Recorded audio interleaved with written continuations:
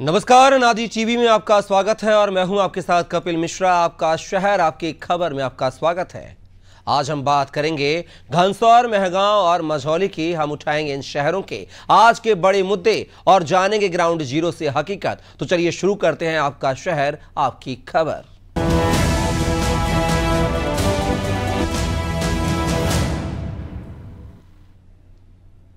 और आपका शहर और आपकी खबर में सबसे पहले बात करेंगे मध्य प्रदेश के घनसौर की, जहाँ निर्माण कार्य 10 साल उससे अधूरे पड़े हुए हैं।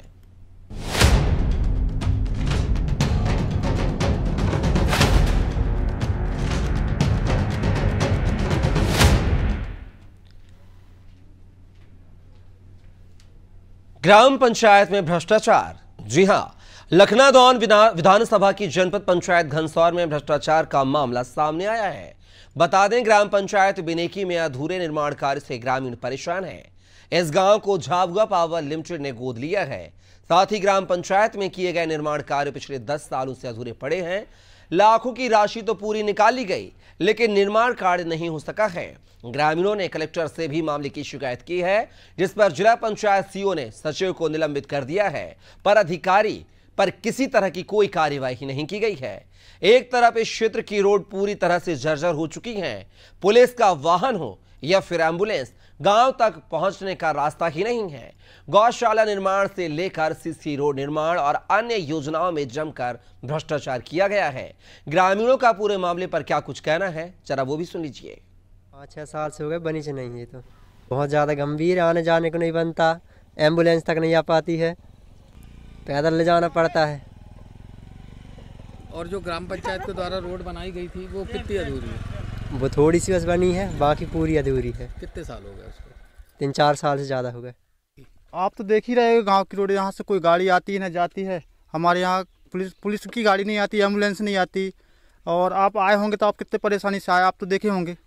पाँच साल से रोड बन रही है तो बनी रही है। आधी पड़ी है आधी बन चुकी है तो बन नहीं पा रही है। इसमें कोई मदद नहीं किसी का कोई मदद नहीं। ये जहाँ तक कि कोई सरपंच तक यहाँ पे आ, आके नहीं देखता इधर।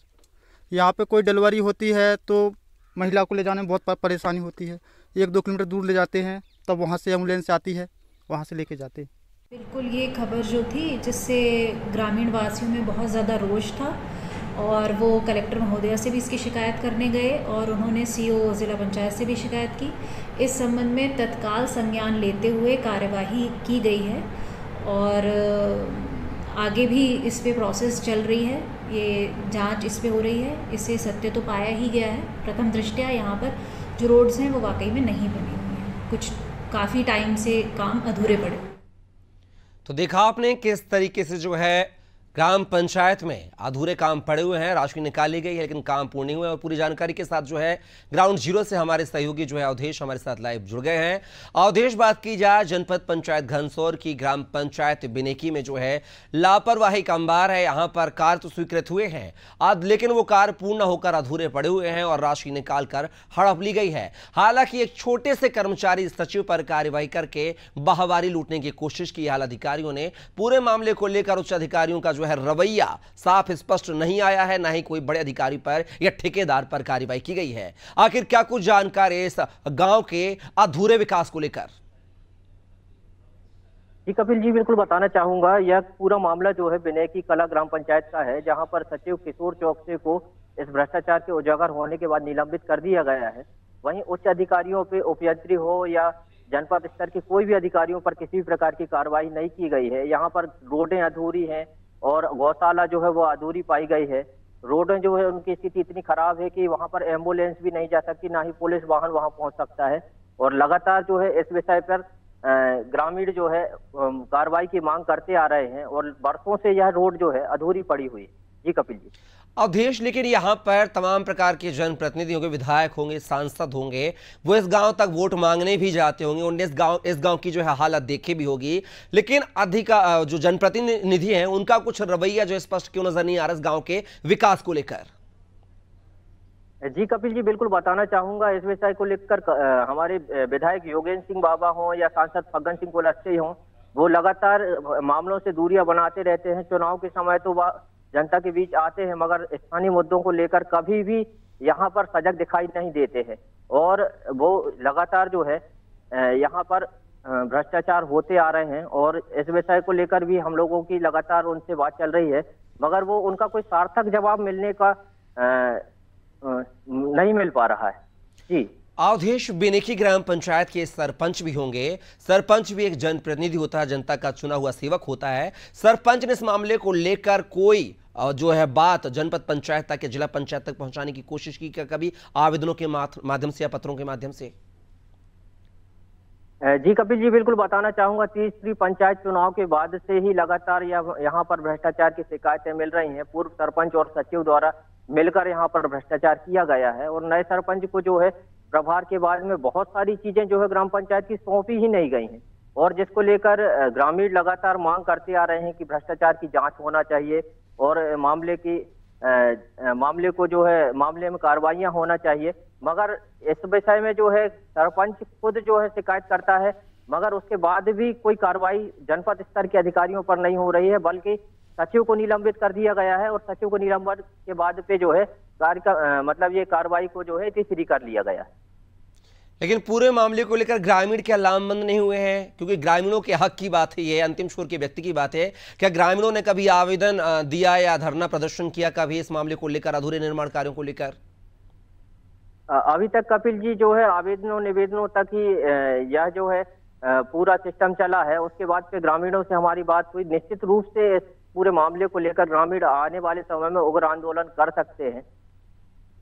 चलिए अवधेश, अब देखना होगा कि खबर दिखाए जाने के बाद इस गाँव का जो अधूरा विकास निर्माण कार्य है वो पूरा कब तक हो पाएगा या नहीं? और जो जो, जो पूर्व सरपंच और सचिव हैं उन्होंने जिन्होंने मिलकर भ्रष्टाचार किया है उन पर किस तरह की गाज गिरेगी भी या नहीं? अधिकारी कर्मचारी क्या है? चुप रहते हैं क्योंकि भ्रष्टाचार जो होता है वो नीचे से लेकर ऊपर तक के अधिकारियों के बीच में होता है। छोटी मछलियों को ही निशाना बनाया जाएगा फिर इसके पीछे बड़े अधिकारी कर्मचारियों पर भी गाज गिरेगी। ये देखना दिलचस्प होगा। फ़िलहाल के लिए तमाम जानकारी को साझा करने के लिए बहुत बहुत शुक्रिया अवधेश आपका।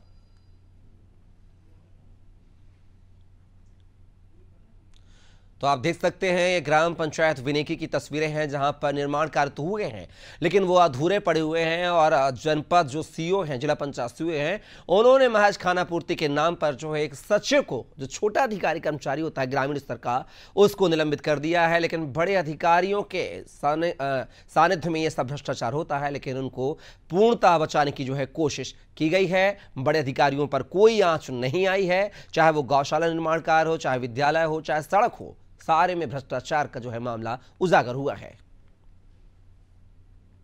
और अब आपका शहर आपकी खबर में बात करेंगे महगांव की, जहाँ कागजों में सीसी रोड का निर्माण कर पूर्व सरपंच और सचिव ने लाखों की राशि निकाल ली है।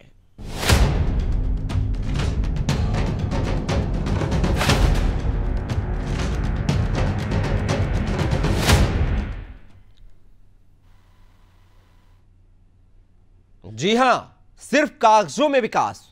भिंड ज़िले की महगांव जनपद पंचायत इन दिनों भ्रष्टाचार का अड्डा बन गई है, जहाँ कागजों में सीसी रोड का निर्माण कर लाखों रुपए सरपंच, यानी कि पूर्व सरपंच और सचिव ने डका लिए हैं। मामला महगांव जनपद पंचायत के अंतर्गत आने वाली पंचायत टिकरी का है, जहाँ पूर्व सरपंच सचिव रामधुन की मिली भगत से ग्राम पंचायत में लाखों का भ्रष्टाचार किया गया, जिसमें सीसी रोड बिना बने ही लाखों रुपए की राशि निकाली गई। ऐसी ही एक सीसी रोड है जो आज तक नहीं बनी है, लेकिन उस सीसी रोड का निर्माण कागज़ी पन्नों में कर कर चौबीस लाख पाँच हज़ार रुपए निकाल लिए गए हैं। पूरे मामले की सीएम हेल्पलाइन, यानी कि वन एट वन पर शिकायत की गई। साथ ही महगांव एसडीएम नवनीत शर्मा को आवेदन दिया गया और कार्रवाई की मांग की गई।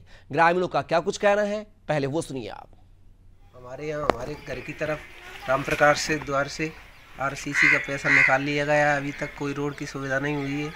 सरपंच से बोलते हैं, वो बोलता है, हमने पता ही नहीं, कुछ सेक्रेटरी ने कर लिया, क्या हुआ है? हम बहुत दिनों से कोशिश कर रहे हैं इस चीज़ की, कोई हमारी सुनवाई नहीं हो रही। हमारे जो घर के सामने से रोड आई है, रामप्रकाश के द्वार से, प्रदीप के द्वार तक, जो सीसी पास हो चुकी है, उसका पैसा निकाल लिया गया है, और वो रोड डली नहीं है अभी तक। सरपंच से बोल चुके सेक्रेटरी से बोल चुके, उसकी कोई सुनवाई नहीं हो रही। उसका अपने पास पूरा प्रूफ है कार्यालय में भी उसका आवेदन दिया, हमारी कोई सुनवाई नहीं हुई। इसके संबंध में मेरे द्वारा से कार्रवाई करने के लिए निर्देशित किया गया है। उनके द्वारा उसकी पूरी जाँच की जाएगी डॉक्यूमेंट्स के आधार पर तथ्य पाए जाएँगे। उसके अनुसार अगर उनका काम होना नहीं पाएगा तो उसमें संबंधित सचिव के विरुद्ध एफ़ आई आर दर्ज कराई जा सकती है। क्योंकि गंभीर विषय है कार्रवाई निश्चित रूप से की जाएगी। तो देखा आपने किस तरह कागज़ी पन्नों पर जो है रोड बना दी गई है, उसका पैसा निकाल लिया गया है, पैसा डकार भी लिया गया है और रोड जो है वो नहीं बनी है। तो पूरे मामले को लेकर आप देख सकते हैं कि इस तरीके से जो है भ्रष्टाचार किया गया है, पूर्व सरपंच सचिव पर यह आरोप लग रहे हैं।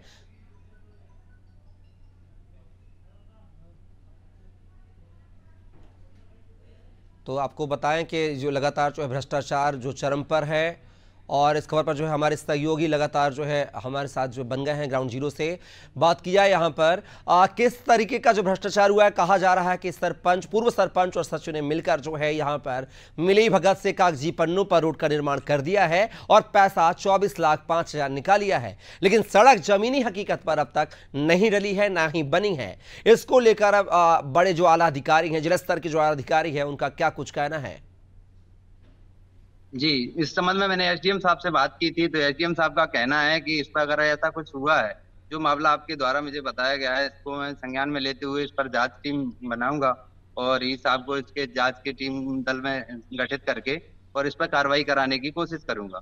तो इस संबंध में एक बात मैं आपको साफ़ करना चाहता हूँ सर जैसे कि ई साहब ने पहले भी जाँच की थी और, जाँच करने के बाद ही जब ये जैसे रोड बनी थी तब ई साहब ने उसको कैसे उसको पास कर दिया और जबकि रोड वहाँ पे बनी नहीं है धरातल पे कुछ है ही नहीं। तो फिर उसको पास कैसे कर दिया और कैसे सब इंजीनियर साहब ने उसको पास कर दिया और पैसा निकाल दिया गया? तो ये एक बड़ा सवाल है और उस पर वही एसडीएम साहब का फिर वही से कहना है और एसडीएम साहब उसी टीम को फिर से गठित कर रहे हैं, जिस टीम ने पहले भ्रष्टाचार किया है पूर्व में। तो ये बड़ा सवाल है कि यहाँ पे तो ब्रजपाल क्या माना जाए कि एसडीएम साहब की ही मिली भगत है उनके इशारों पर उनके मार्गदर्शन में ही इतना बड़ा भ्रष्टाचार हुआ कि कागजों पर रोड बना ली गई और 24 लाख पाँच हज़ार रुपए लिए निकाल कर डका लिए गए। ब्रजपाल ब्रज अपाल क्या होता है कि जब भी कोई काम होता है तो स्टेप बाय स्टेप होता है स्टेप बाय स्टेप जो है रकम निकाली जाती है। एक साथ पूरी रकम जो है नहीं निकाल ली जाती है। पहले ग्राउंड ज़ीरो पर काम होता है कुछ हद तक उसको फिर फोटोग्राफी होती है वीडियोग्राफी होती है अधिकारी मौका मुआयना करते हैं तब उतनी राशि का आवंटन किया जाता है फिर दूसरे स्टेप में काम होता है। लेकिन यहाँ पर अधिकारी, कर्मचारियों ने क्या मॉनिटरिंग की है? जो सड़क बनी ही नहीं और पैसा निकाल लिया गया। जी जी जी। यहाँ पे सड़क धरातल पे मैंने जाके देखा तो वहाँ पे कोई एक एक कक्कड़ भी नहीं डला है। जैसे कि जैसे जैसे खंडे दिख रहे हैं, उसमें रोड में आपने देखा है मौके पे खंडे हैं, उसमें कुछ नहीं है। रोड पे एक मिट्टी नहीं डली है, कुछ नहीं डला है और ढाई लाख रुपए की राशि है जो निकाल लिया दो लाख पैंतालीस हज़ार रुपए की राशि बता रहे हैं, सर। दो लाख पैंतालीस हज़ार रुपए का उसमें जो प्रमाणित कागज़ है, दस्तावेज़ हैं उनमें प्रमाणित लिखा हुआ है कि दो लाख पैंतालीस हज़ार की राशि इसमें निकाली है और आज दिन तक कोई काम नहीं हुआ है और फिर उसको आज दिन तक उसको दबा के क्यों रखा था, गया था? आज दिन तक कोई उजागर नहीं है। जब शिकायत करता शिकायत करने लगे, उनके संज्ञान में मामला आया, जब अधिकारियों को संज्ञान में दिया, अधिकारियों से जब बातचीत की तो अब कह रहे हैं कि उस पर जाँच टीम बनाएँगे और जाँच टीम में उसी दल को गठित कर रहे हैं, जो जो पहले से ही उसमें मिली भगत चल रही थी, जो पहले से ही उसमें लिप्त है। उन्होंने जाँच तो पहले ही उसको की थी, क्योंकि जब मौके पर जाँच की जाती है, उसी के बाद तो सीसी रोड को मंजूर किया जाता है। वो इन्होंने मंजूर कैसे कर दिया? उस रोड को पास कैसे कर दिया? ब्रजपाल जैसे कि एसडीएम का निकाली है, ऊपर गोल मोल जवाब सामने आ रहा है ब्रजपाल एसडीएम का गोल मोल जवाब सामने आ रहा है। वही कहानी जो है रिपीट करने की कोशिश कर रहे हैं जो पहले से कहानी बना दी गई थी भ्रष्टाचार की कहानी। इस मामले की क्या शिकायत कलेक्टर से की गई है? दो लाख चालीस हज़ार का मामला है। आखिर कलेक्टर तक ये कलेक्टर के कान में ये बात पहुँची है? जी बिल्कुल बिल्कुल। मामला यही है कि भी वो एसडीएम साहब उस पर पर्दा डालने की कोशिश कर रहे हैं ना कि उस पर कार्रवाई करने के। उन्होंने ये भी कहा कि मैं उस पर सख्त से सख्त कार्रवाई करूँगा उन पे एफआईआर कराने की कोशिश करूँगा। एफआईआर कैसे हो सकती है? जबकि जाँच टीम उसी को गठित कर रहे हैं जो टीम पहले से भ्रष्टाचार में लिप्त है तो उसमें एफआईआर होने का तो सवाल ही नहीं है। तो कहीं ना कहीं उसमें एसडीएम साहब की मिली भगत मानी जाती है। तो बे- साहब की मिली भगत से ये कारनामे चल रहे हैं। बिल्कुल, कहीं ना कहीं जो भ्रष्टाचार के अधिकारी हैं, उन्हों को, उनको ही जाँच अधिकारी बनाया गया है। बड़ा सवाल है, इस जनपद पंचायत में, महगांव में अब देखना होगा कि खबर दिखाए जाने के बाद पूरे मामले को जो है कलेक्टर संज्ञान में लेते हैं नहीं है, या भ्रष्टाचार में लेते हैं। एसडीएम पर कोई दूसरा अधिकारी एडीएम वगैरह की जाँच बिठाई जाती है या नहीं, ये देखना दिलचस्प होगा। फ़िलहाल के लिए ब्रजपाल तमाम जानकारी को साझा करने के लिए बहुत बहुत शुक्रिया आपका। तो आप देख सकते हैं, ये भिंड की महगांव जनपद पंचायत का मामला है, जहाँ पर कागज़ी पन्नों पर रोड बनाकर दो लाख चालीस हज़ार रुपए डका लिए गए और एसडीएम महोदय में भी इसमें लिप्त पाए जा रहे हैं, जैसा कि हमारे सहयोगी ने कहा है। और वही जाँच अधिकारी बने हैं। देखिए, गौर करिए, यानी भ्रष्टाचार करने वाला ही जाँच अधिकारी बन गया है। अब देखना होगा कि कलेक्टर जो है, किसी अन्य जिला स्तर के अधिकारी, कर्मचारी एडीएम या डिप्टी कलेक्टर को जाँच अधिकारी बनाएँगे या नहीं देखना दिलचस्प होगा।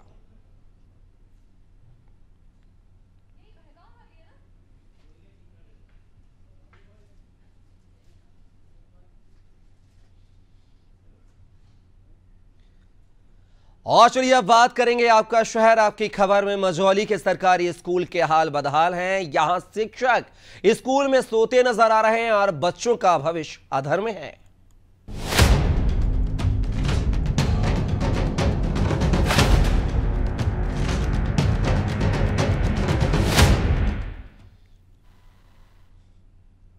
जी हाँ वाहरे मास्टर साहब, मझोली में सरकारी स्कूल के टीचर क्लास में बच्चों को पढ़ाने की बजाय बच्चों के बैग को तकिया बनाकर नींद पूरी कर रहे हैं। मुड़िया मड़ोद की प्राथमिक शाला नदगांव में टीचर की एक तस्वीर सामने आई है, जिसमें टीचर क्लास में सोते हुए नज़र आ रहे हैं। स्कूल का आलम यह है कि शिक्षक कभी लेट हो जाते हैं, कभी तो आते ही नहीं हैं, और गलती से अगर आ भी गए तो आकर सो जाते हैं। चलिए आपको इन शिक्षक की कारगुजारी दिखाते हैं इस रिपोर्ट के माध्यम से।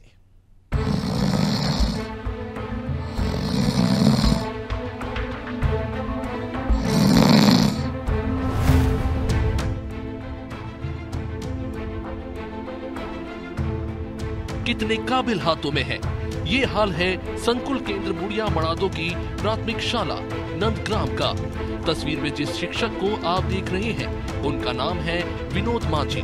जिन किताबों से बच्चों को पढ़ाना था मास्टर साहब उन्हीं किताबों का तकिया बनाकर आराम फरमा रहे हैं। एक्चुअली में क्या है कि ये मुड़िया मड़ौत संकुल के अंतर्गत प्राथमिक शाला नंदग्राम का मामला है और संबंधित शिक्षक का नाम विनोद मांझी है। और इससे पूर्व भी मेरे पास इनकी शिकायतें आई हैं। और इस संबंध में मेरे द्वारा स्वयं उस शाला का निरीक्षण किया गया। इसके अलावा लगातार शिकायतें प्राप्त होने के कारण मेरे द्वारा एक जाँच समिति गठित की गई है, जिसकी रिपोर्ट वरिष्ठ कार्यालय के समक्ष जल्द ही प्रस्तुत की जाएगी। और विकासखंड शिक्षा अधिकारी कार्यालय की ओर से एक कारण बताओ सूचना पत्र भी संबंधित लोक सेवक को जारी किया गया है। और विद इन फिफ्टीन और ट्वेंटी डेज़ में संबंधित पे उचित कार्रवाई रिसीव की जाएगी। जाँच दल क्या कार्रवाई करता है ये देखना होगा। लेकिन इन तस्वीरों को देखकर यही लगता है कि सिर्फ़ शिक्षक विनोद मांझी ही नहीं, बल्कि पूरा सरकारी तंत्र नींद में है। तो देखा आपने, सरकारी शिक्षक मोटी सैलरी लेते हैं बच्चों को पढ़ाने के एवज में, लेकिन वही मास्टर साहब जो शिक्षा देने के लिए स्कूल जाते हैं, वो वहाँ पर नींद पूरी करते हुए नज़र आ रहे हैं। और इस खबर पर सहयोगी राजकुमार से हमारे साथ जुड़ गए हैं। ग्राउंड ज़ीरो से राजकुमार बात की। जाए मड़िया, मुड़िया मड़ू की प्राथमिक शाला के शिक्षक जो हैं, विनोद मांझी साहब, वो बच्चों को यूँ तो शिक्षा देने के लिए स्कूल पहुँच जाते हैं कभी कभार पहुँच जाते हैं, लेकिन जब जाते हैं तो अपनी नींद पूरी करने से बाज नहीं आते हैं, जिस तरह की जो तस्वीरें सामने आई हैं। आखिर इन पर क्या कुछ अब तक कार्रवाई हो पाई है? जी, मैं आपको बता दूँ कि प्राथमिक शाला नंदग्राम का मामला है। जहाँ पर विनोद माझी कभी कभार आते हैं और आते ही कुछ ना कुछ लापरवाही उनकी लगातार सामने आ रही है। स्कूल आते हैं लेकिन सो जाते हैं, इस पर लगातार टीम गठित होकर जाँच चल रही है। ब्लॉक शिक्षा अधिकारी अतुल चौधरी जी का कहना है कि इसमें उच्च स्तरीय टीम गठित हुई है और लगातार उनको नोटिस जारी कर जानकारी ली जा रही है। हो सकता है कुछ दिनों में इन पर सख्त कार्रवाई करते हुए इनको निलंबित किया जा सकता है। लेकिन हम आपको बता दें कि ये पहला मामला नहीं है। इस प्रकार के कई मामले ऐसे हैं जिन पर विनोद माझी द्वारा लगातार लापरवाही की जा रही है। ग्राम के सरपंच और ग्रामवासियों ने लगातार इसकी शिकायत जिला ब्लॉक स्तर से लेकर जिला स्तर पर भी की है। लेकिन अभी तक कोई प्रकार से कार्रवाई नहीं की गई। राजकुमार, हमने आपके ब्लॉक शिक्षा अधिकारी को सुना है, वो खुद ये कबूलनामा करते हुए नज़र आ रहे हैं कि ये विरोध माजी का कोई पहला वाक्य नहीं है। कई बार उनकी इस तरह की शिकायत लिखित में प्राप्त हुई है, उनके वीडियो वायरल हुए हैं और एक बार पुनः फिर उनका स्कूल के अंदर जो है सोने का वीडियो वायरल हुआ है। अब इस पर क्या नोटिस देना, क्या मतलब क्या माना जाए कि अधिकारी विनोद माझी को बचाने के चक्कर में जो नोटिस की बात करते हुए नज़र आ रहे हैं? मैं आपको बता दूँ कि लगातार पिछले एक से दो वर्ष से लगातार जाँच ही केवल जाँच चल रही है। ब्लॉक स्तर पर टीम जाती है। कम से कम लगभग तीन से चार बार जाँच हो चुकी है। लेकिन अभी तक विशेष टीम ने जो रिपोर्ट पेश की है, उस पर कोई अमल नहीं हुआ, ना ही कोई जिला स्तर पर इन पर कोई कार्रवाई, केवल नोटिस जारी होता है और उसका जवाब दिया, दे दिया जाता है। और लगातार विभाग द्वारा कार्रवाई के नाम पर केवल सुस्त रवैया देखा जा रहा है। आपको बता दें कि जो शिक्षक हैं, लगातार स्कूल में अनुपस्थित रहते हैं और समय पर पहुँचने की बात तो रहती है, लेकिन ये आते ही बच्चों के साथ जिनका जो रवैया रहता है, वो अनुशासनहीनता का रहता है। और ग्रामवासियों ने इसकी लगातार शिकायतें की हैं लेकिन केवल शिकायतें कागजों पर ही सीमित हैं। लेकिन राजकुमार शिकायतें होने के बावजूद वीडियो वायरल होने के बावजूद भी अनियमितता बरतने के बावजूद भी शिक्षक की आखिर इन पर कार्रवाई क्यों नहीं हो रही? आखिर अधिकारी कर्मचारी इनके जो वरिष्ठ अधिकारी कर्मचारी हैं इन पर इतना मेहरबान क्यों है? इसकी क्या कुछ वजह सामने आ रही है? मैं आपको बता दूँ कि जो विनोदमयी शिक्षक हैं जब इसकी अपन ने जाँच पड़ताल की तो बताया जा रहा है कि कुछ हो सकता है स्वास्थ्य कारण भी हैं, लेकिन ये अलग विषय है कि स्वास्थ्य के कारण के चलते उनको ना छुट्टी दी ना उन्होंने छुट्टी मांगी, ना कुछ कहीं पर इलाज करवाया। लेकिन जो टीम है, जो लगातार जाँच कर रही है, केवल जाँच ही जाँच करती है और इसके अलावा कहीं ना कहीं इनको संरक्षण दे रही है और बच्चों का जो भविष्य है, वो अधर में लटका हुआ है। बच्चों की भविष्य की चिंता ना उच्च अधिकारियों को है और ना ही क्षेत्रीय जो लेवल पर अधिकारी बैठे हैं उनको इस प्रकार की कोई फ़र्क पड़ता है। चलिए राजकुमार अब देखना होगा कि खबर दिखाए जाने के बाद इन मास्टर साहब पर जिला शिक्षा अधिकारी या इनके जो जिम्मेदार वरिष्ठ अधिकारी हैं, इनको सोने की सजा और बच्चों के भविष्य के साथ खिलवाड़ करने की सजा देंगे या नहीं, या फिर जाँच में जाँच, वही जो रटा रटाया जवाब रहता है जिम्मेदार अधिकारियों का, वो जवाब देखने को मिलेगा। फ़िलहाल के लिए तमाम जानकारी को साझा करने के लिए राजकुमार, आपका बहुत बहुत शुक्रिया। धन्यवाद।